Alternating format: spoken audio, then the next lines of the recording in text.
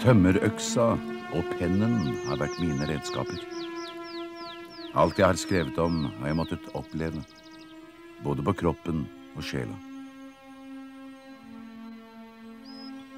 Mye av det som i bøkene mine kan kalles skog- og fjellromantikk, har blitt til her i Vassfaret.